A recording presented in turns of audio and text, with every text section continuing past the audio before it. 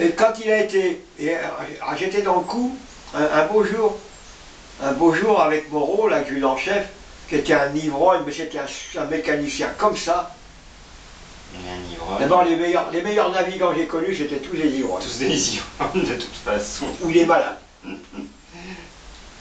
Un jour, on avait la- la- l'avion de Leclerc, il était. Alors, le seul qui n'était pas vert, il était gardé la couleur naturelle de l'aluminium, tu vois. D'accord.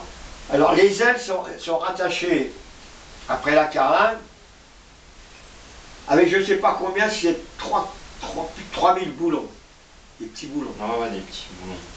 Et par-dessus, il y a un cache Ok. pour cacher les boulons.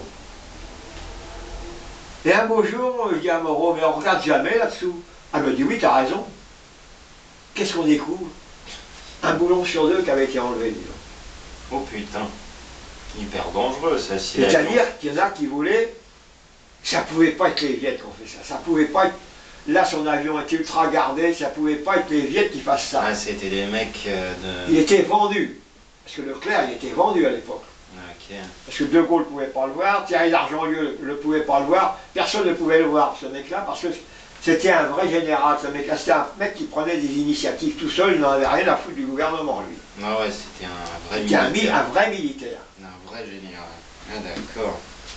Il manquait un boulon sur deux. Ah putain euh, Moreau, il m'a dit, tu ne dis rien à personne, hein Ferme ta gueule. Tu fermes ta gueule, t'as rien vu. On va tout reboulonner, on va aller chercher les boulons, on va tout remettre en place, tout nettoyer, tout propre et tout, ni lu, ni connu. Mais bouche cousue. Mais Bouche non. cousue. Pour ça, c'est vrai, pour ça, on me faisait toujours confiance. Hmm. Mais quand Leclerc s'est fait virer, parce qu'il s'est fait virer d'Algérie, d'A- d'A- d'A- d'Indochine, Ah ouais. parce qu'il avait, fait partie de l'équipage qui avait Non été c'è ora in discuté cui non avec si le Chimie allinea à l'époque, c'était en dehors du con quel gouvernement. nastro registrato. Dans un trou perdu là-bas au fin fond, au fin fond, Ogni giorno la che frontière passa, de Chine, on avait atterri dans un La sua abilità dialogativa qui avait été aménagé pour rencontrer, pour, pour rencontrer Ho Chi Minh. migliora.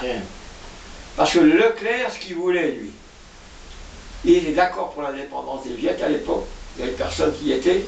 Ah, lui, était Ce qu'il voulait, lui, c'était la, la- la présence française, culturelle Mhm. et économique. L'économie. Voilà, c'est ça. Voilà. C'était ça l'idée. Indépendant, oui, Mais. et euh, la culture française, ça y était beaucoup, et l'économie, évidemment. Bah oui. D'ailleurs, il avait proposé de faire démobiliser des mecs là-bas pour aider, pour aider les Viettes à, ça- à- à- à se construire. hein. Ouais, à construire, à reconstruire.